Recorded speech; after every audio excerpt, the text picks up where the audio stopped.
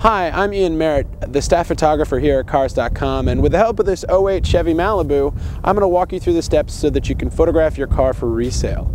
Now the first thing you're going to need is a working camera, whether it be digital or film, point and shoot or SLR.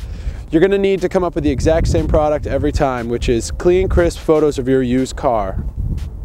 The first thing you should really do is clean up your car. No one in their right mind is going to buy a car that's got soda stains all over the gear shift and is filled with fast food bags. Now that we have a clean car, the most important thing to do is to shoot your car in a shady spot. I prefer to shoot during dusk hours or in the early morning or on a cloudy day. That way you don't get any direct sunlight on the shiny paint job, which then creates aberrations and, and crazy shadows, and that's really not what you want. A big misconception of photographing cars is that you need to be as close as possible to the car to make sure that it fills up your camera.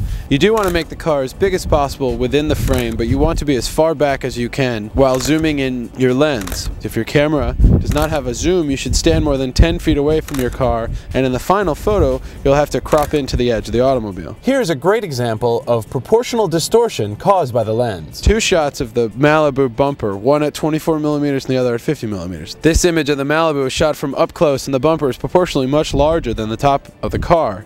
Here's the same image taken from 20 feet away with the lens zoomed all the way in. As you can see, the one from further back is proportionally correct. Here's a good list of shots that you should include with your used car posting.